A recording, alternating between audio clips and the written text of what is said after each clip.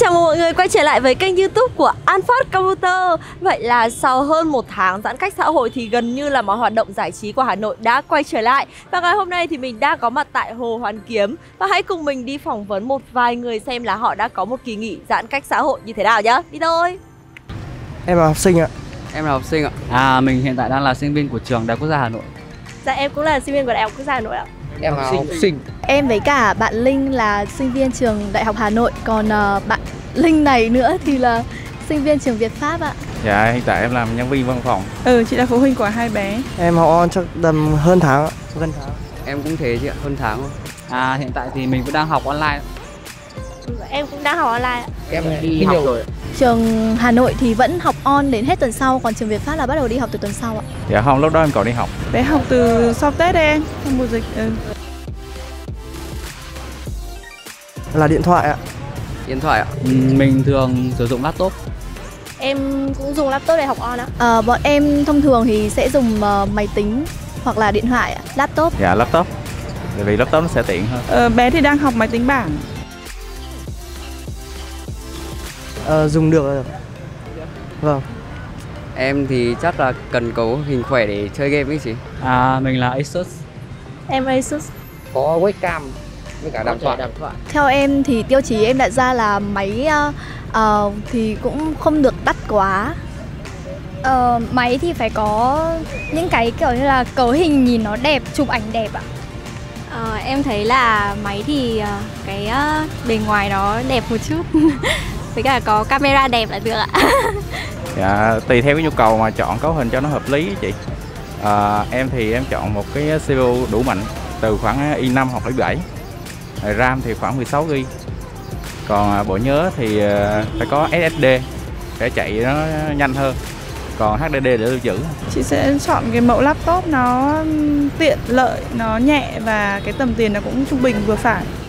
Và sau một hồi phỏng vấn thì chủ đề của ngày hôm nay chính là tiêu chí chọn laptop trong mùa dịch.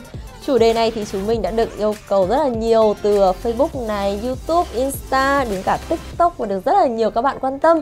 Thế nên là sau khi tham khảo ý kiến của các bạn mình đã chọn ra top 6 laptop đến từ 6 thương hiệu đã quá quen thuộc và rất là nổi tiếng. Ở đây chúng ta sẽ có Acer, Lenovo, Acer, Dell, MSI và HP. Với các yêu cầu như là mỏng, nhẹ, hình thức đẹp thì cả 6 mẫu laptop này đều đáp ứng đủ các tiêu chí trên.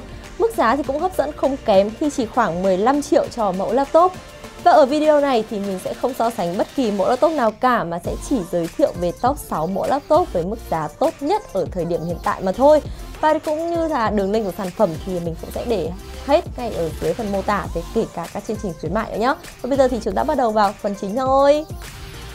Đầu tiên, ở mức giá 13 triệu thì chúng ta sẽ có MSI Modern 14 với mức giá là 13 triệu 590 nghìn. MSI Modern 14 thì vô cùng mỏng, nhẹ, chỉ có là 1,3 kg. Sở hữu ở đây là Core i3 10110U, 8GB RAM, 256GB SSD và đồ họa là Intel UHD Graphics. Nói chung là đủ với các tác vụ cơ bản nhẹ nhàng các bạn hoàn toàn có thể lựa chọn đối với mức giá là 13 triệu đồng. Tiếp theo ở phân khúc giá 14 triệu thì chúng ta sẽ có Lenovo IdeaPad 3 với mức giá là 14 triệu 990 nghìn và HP Pavilion X360 đối với mức giá là 14 triệu 690 nghìn. Ở Lenovo thì chúng ta sẽ có thiết kế tối giản với màu xám trung tính, cực kỳ hợp với cả dân văn phòng này hoặc là những người thích phong cách tối giản. Bản lề này thì các bạn có thể mở ra được là 180 độ. Ở đây thì về phần cấu hình chúng ta sẽ có là Core i5 1035G1, 4GB RAM, 256GB SSD kết hợp với card RMX 330 và có thể nâng cấp cả RAM lẫn cả ổ cứng. Sang phía HP X360 thì vô cùng linh hoạt có thể biến laptop bình thường thành máy tính bảng và rất là nhiều các thứ thế khác nhau. Màn hình vuông đẹp có thể cảm ứng, Sở hữu Core i3 1115G4, 4GB RAM, 1TB RAM 4GB có thể nâng cấp, 512GB SSD, đồ họa là Intel UHD Graphics. Ở mức giá 16 triệu thì các bạn sẽ có Dell Virtual 3400 với mức giá là 16 triệu 950 nghìn và Acer Aspire 7 với mức giá là 16 triệu 990 nghìn. Dell thì lúc nào cũng được đề cao bởi sự bền bỉ này, Sở hữu Intel thế hệ thứ 11 mới nhất, ở đây chúng ta sẽ có Core i5 1135G7, đồ họa NVIDIA MX 330, RAM 8GB và có một thanh RAM 8GB có thể nâng cấp, 256GB SD. Tiếp theo thì chúng ta sẽ có hình thức tối giản, văn phòng, thế nhưng lại mang cấu hình gaming đồ họa, sẽ có Acer Aspire 7, laptop gaming mà giá chỉ 16 triệu đồng. Ở đây phần bàn lề này chúng ta có thể xoay mở được là một góc 180 độ ở cấu hình thì sẽ là AMD Ryzen 5 3350H 8GB RAM. Và chúng ta sẽ có thể nâng cấp tối đa lên đến là 32GB 512GB SSD, đồ họa NVIDIA GTX 1650 Ti. Cuối cùng là một món laptop có mức giá cao hơn một chút, thế nhưng chất lượng thì lại cực kỳ xứng đáng với giá tiền mà các bạn bỏ ra. Acer ExpertBook B2451 17 triệu 890 nghìn. Sở hữu Intel Core i5 10210U, RAM 8GB có thể nâng cấp tối đa lên là 32GB, ổ cứng là 1TB HDD, 256GB SSD, đồ họa tích hợp Intel UHD Graphics, màn hình thì sẽ là màn hình 14 inch Full HD, được bảo mật tiêu chuẩn quân đội rất là cao.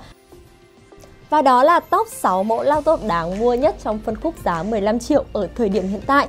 Thiết kế đẹp từ kiểu dáng cho đến màu sắc, hiệu năng tốt đủ để học tập online và làm việc tại nhà, giải trí cơ bản cho đến các tác vụ đồ họa nhẹ nhàng đều có thể đáp ứng được. Và sự lựa chọn của các bạn là gì? Bình luận ở dưới video để cho mình biết nhé. Hẹn gặp lại mọi người trong những video sau. Xin cảm ơn tất cả các bạn đã theo dõi hết video này và nếu như có thắc mắc về bất kỳ sản phẩm hay chương trình khuyến mại nào thì đường link tư vấn miễn phí cũng như là mua hàng mình sẽ để ngay dưới phần mô tả của video. Và nếu chưa đủ tiền để rước em nó về, đừng quên là ăn phát có trả góp 0%.